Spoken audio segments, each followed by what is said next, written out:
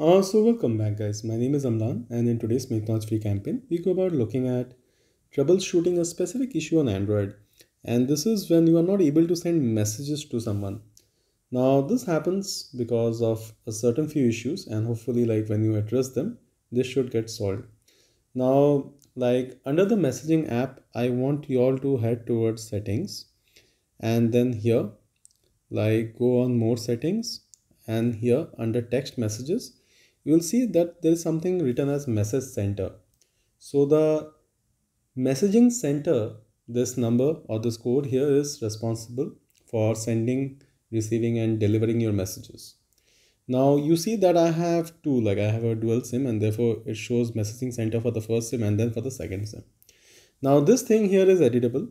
So you can go ahead and edit this. Oftentimes what happens is just because you don't have the right messaging center number. Therefore, the messages refuse to go and come. So it's always advisable to put in the right SMSC and this preferably should be taken from the carrier itself. So you can call the helpline and ask for the SMSC number and then go ahead and put that here. In case you are not able to do that, what you can also do is you can go to Chrome and like you can simply go ahead and search for like, you know, the SMSC number for your network carrier for your state. State to state also this varies and then you can try ahead, go ahead and try putting it.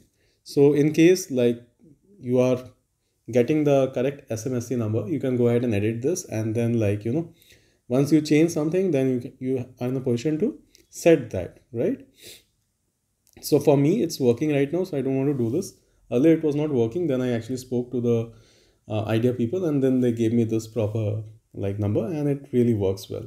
Well this is the first of the things that i wanted to tell. The next thing that you can try is head towards your phone settings head towards apps search for the messaging app. So like you will search for the messaging app. So open this and then here like what i advise you to do is simply first force stop the app. Don't worry you don't lose any data as such. Then go to storage clear the cache and then clear the data. Don't worry again, you won't be losing anything as such. So once you do this, hopefully you will now be able to send messages. Just to show that you don't actually lose anything, I just go back to my messages and you can see everything is there. So you can try doing this, try deleting cache, then the data and also like force stopping the app. But before that, what I wanted you to try doing is like head towards settings and then towards more settings and Inside text messages, what I have here is specific to a Samsung. Well, for different phones, you may find it at different places. But once you arrive at the SMSC thing, you can put in the right thing and then try sending the message and hopefully it should start working. Well, if you like today's tutorial, kindly consider subscribing to the channel. Click on the bell icon for notifications and I shall catch you in the next one.